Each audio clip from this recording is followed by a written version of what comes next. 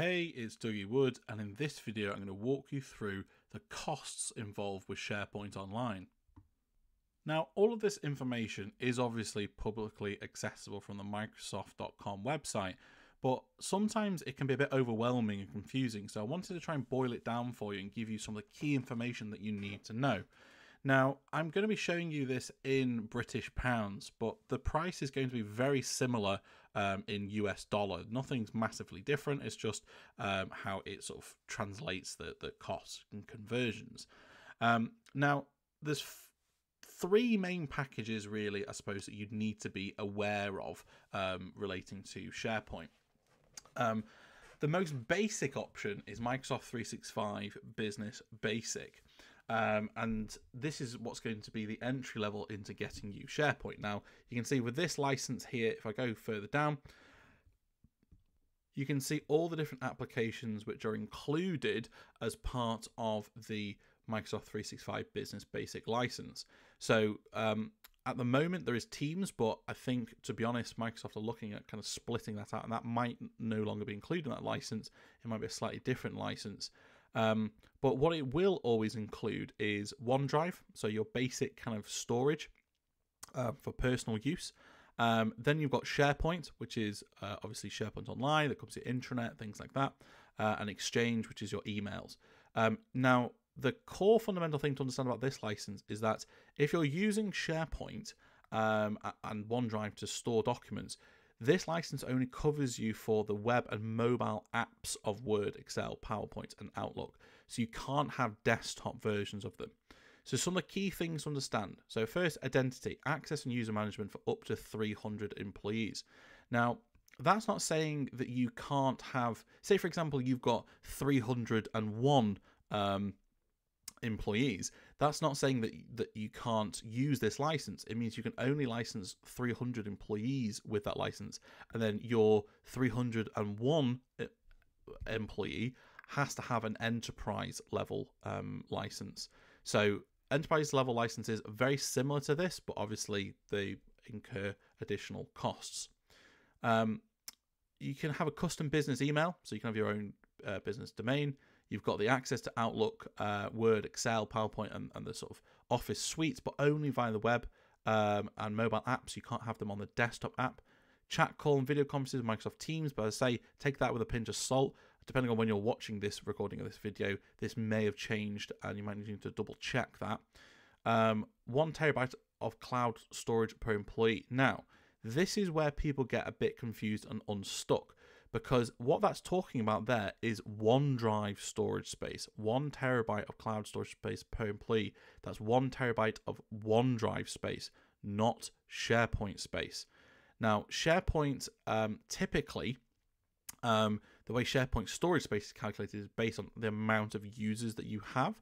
But most organizations, which are say up to the 300 employees mark, you could expect to have more like maybe somewhere between one and three terabytes of storage space.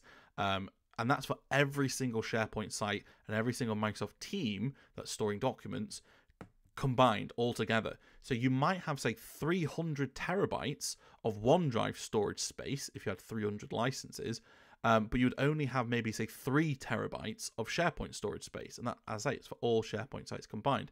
And again, I often get asked the question, oh, can we move the OneDrive storage space to SharePoint? No, it's fixed. You can't move it. You can't move it between employees. Everyone just has one terabyte of OneDrive storage space, and it's nothing to do with the SharePoint storage space. So people get a bit confused and stuck with that. So I thought I'd explain that. You've got 10 uh, plus additional apps for your business. So things like Microsoft Bookings, Planner, Forms, um, th- this covers all the kind of cool apps which comes with Microsoft 365, which is going to enable you to be a lot more productive. Um, you've got things like Microsoft Bookings, which allows you to take bookings from third parties and things like that. You've got Planner, which is like Trello, almost like an agile project management type of um, planning tool. Uh, forms, which is for creating small, lightweight forms, which can be used internally and externally if you wanted to use them for, say, feedback forms or questionnaires and things like that. Uh, automatic spam and malware filtering, so some great sort of um, security features which are built in um, to this license. Anytime phone and web support um, with Microsoft uh, and Microsoft 365 Copilot available as an add on. So, again, don't get confused. Um, it's available as an add-on. You can add on Microsoft 365 Copilot to this license, but it is an add-on. So um, let's look at the next license, which is Microsoft 365 Business Standard. Now, um, some core differences. So then you've got desktop version of Word, Excel, PowerPoint, and Outlook. Now, if you're using SharePoint um, and you're using a lot of documents, document management, things like that, depending on your organization and what people are used to, but to be honest with you, 99% of the time, I find most organizations, the high percentage of their users want to use Word, Excel, PowerPoint in the desktop applications. Even though they're saving it into SharePoint and SharePoint is a document management area, most people do want to have the option for desktop uh, version. So I would check that first. Um, webinars with attended registration and reporting. This again is through Microsoft Teams collaborative workspaces to co-create using Microsoft Loop. So um, again, Loop's a fantastic kind of tool for collaborating, making notes, things like that. Video editing and design tools with Microsoft Clipchamp and Microsoft 365 Copilot available as an add-on. So the same uh, here. We can add that on top as well if we wanted to. Now, not massive differences when it comes to the kind of the, the abilities of SharePoint and what people are going to be doing, other than, as I say, the desktop versions of the apps. Now, if you're looking for the cheapest cost and people are happy to use the web browser and the mobile apps, um, then you can obviously save 50% of the cost by using Microsoft 365 Business Basic rather than Standard. Now, the big jump in this, not necessarily just in cost but also in functionality, comes from when we look at Microsoft 365 Business Premium. Now, this allows us to have advanced identity and access management enhanced cyber threat protection against viruses and phishing atta- attacks, enterprise grade device and endpoint protection, discover, classify, and protect sensitive information, Microsoft 365 Copilot available as an add on. Now, this is where I'm going to talk a little bit about how this affects SharePoint. So, discover, classify, and protect sensitive information. This will give you way more control over your documents. Now, with both of these additional licenses, what's going to happen when you store documents in SharePoint? Yes, they're secure. Yes, you can control them. Yes, you can govern them with permissions and things like that. However, there's nothing really to stop a user from downloading documents out of SharePoint, putting them on a pen drive, and taking them home with them. Um, whereas actually with this license, what you can do over and above with the documents which are stored in SharePoint is you can classify them. You can use um, what they call sensitivity labels.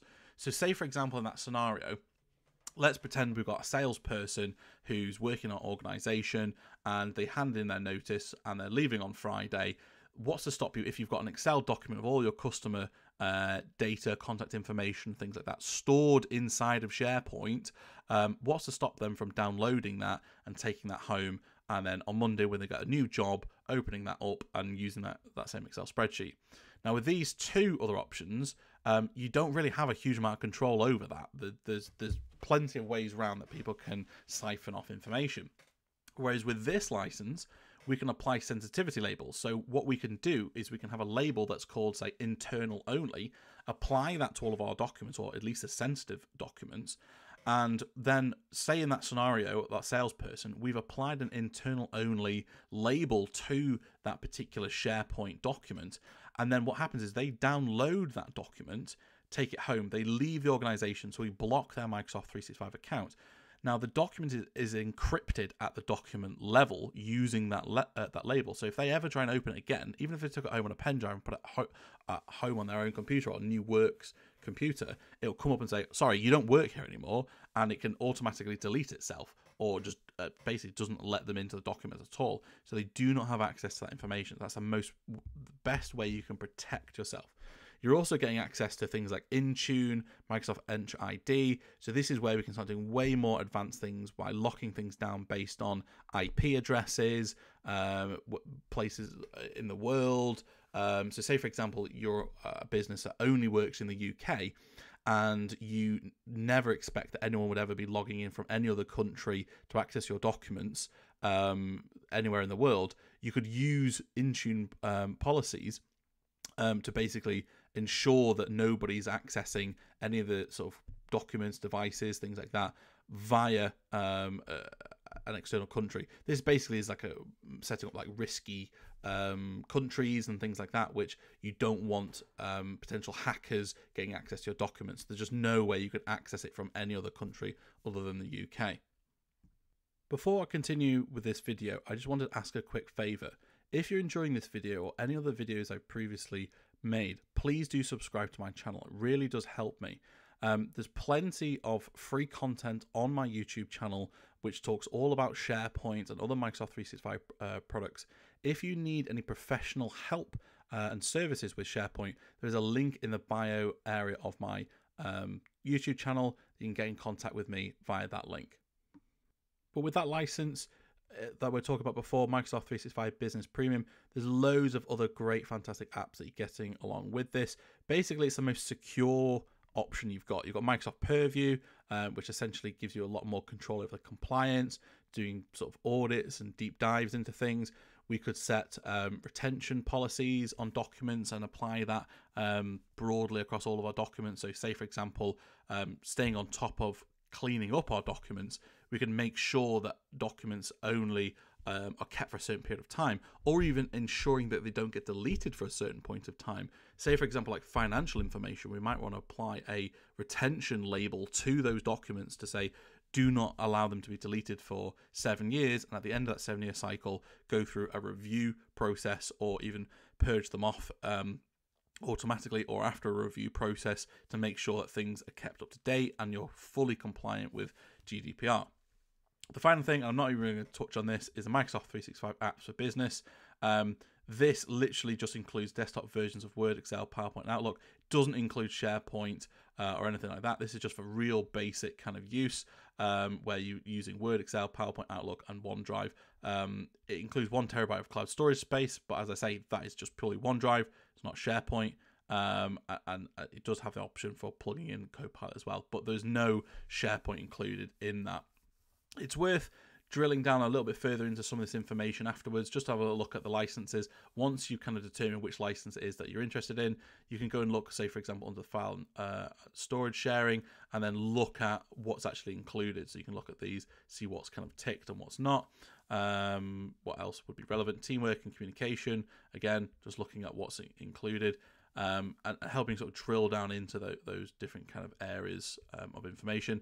If you wanted to find out a bit more about the different kind of products, you can click on them, um, and that will then take you um, to, to look at a little bit more information about that particular product as well. That's included inside of that license.